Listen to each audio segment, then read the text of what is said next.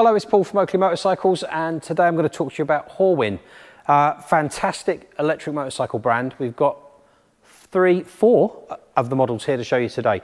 Start off with the CR6. Now, this particular one is their limited black edition, which is an awesome bit of kit. Fantastic bikes, got great road presence, really nice looking machine.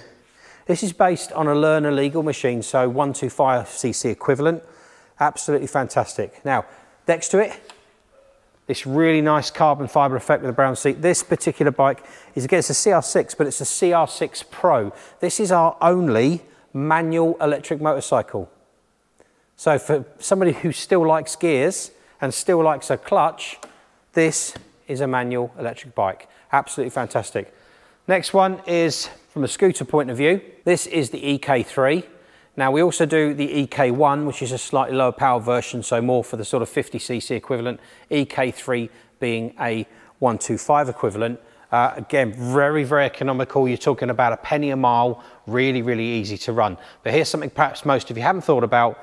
This is the EK3 DS or delivery scooter.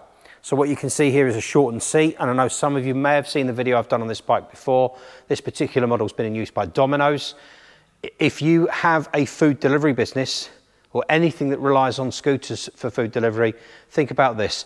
We've got these machines on finance packages from as little as £150 a month with not a lot of deposit. It's very cheap to maintain, very, very cheap to run, and at a penny a mile, it might be worth looking at.